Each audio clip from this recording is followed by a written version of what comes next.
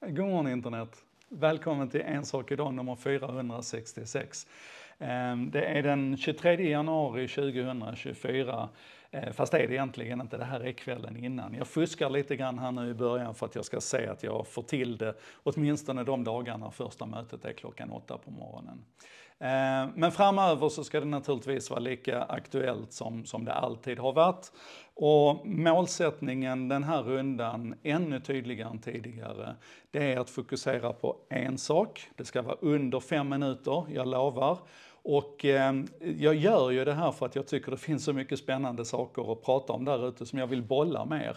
Så det är otroligt viktigt att ni kommenterar tillbaka, tycker tillbaka, håller emot, eh, ställer frågor, svarar på varandras frågor, bidrar med länkar och så vidare.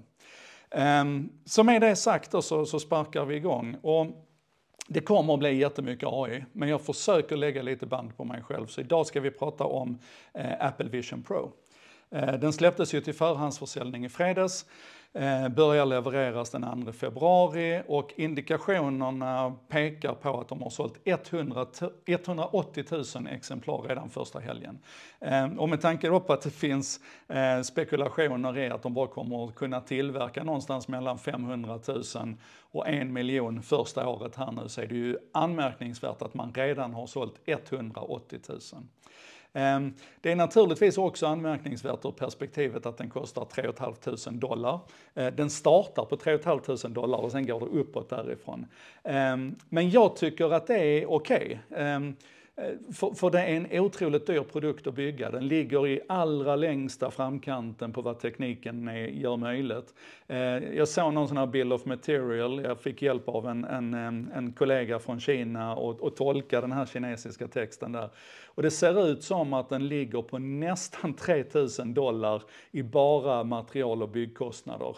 Eh, så det här, är ingen, det här är ingen strålande affär för Apple, även om ni kan göra matematiken och ta 3 500 dollar gånger, gånger 180 000 och se vad de drog in på den i helgen. Det är mycket pengar. Men det, det är så här, det, det, är ett otroligt fantastiskt bygge om man tittar på antalet sensorer som sitter i den, displaytekniken, eh, processorerna, hela bygget, eh, säkert byggkvaliteten också när vi får se det i produktion här nu.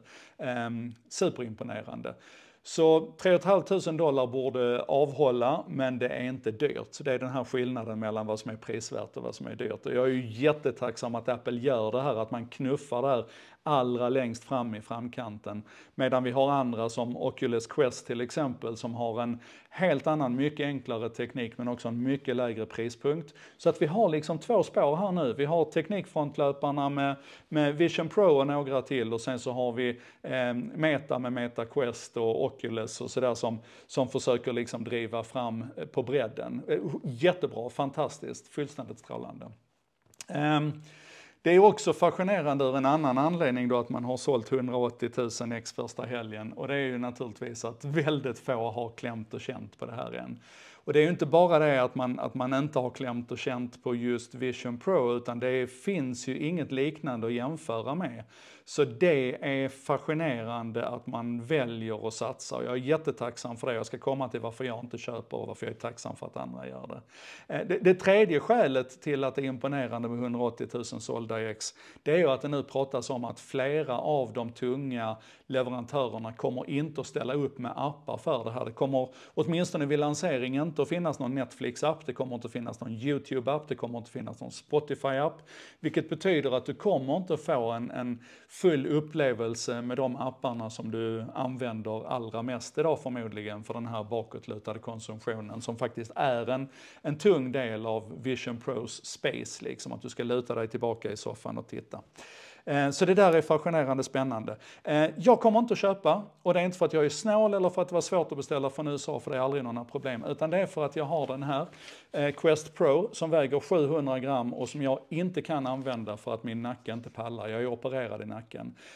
Vision Pro kommer att väga någonstans mellan 650 och 600 gram och jag vet att jag inte kommer att kunna använda den. Så ni får gå ut och handla nu och så kommer jag ikapp sen när, när vikten har gått ner och kanske min nacke har blivit starkare. Hur som helst, det här var En sak idag, nummer 466 den 23 januari 2024 med mig Joakim Jardenberg. Kommentera nu och så ses vi imorgon.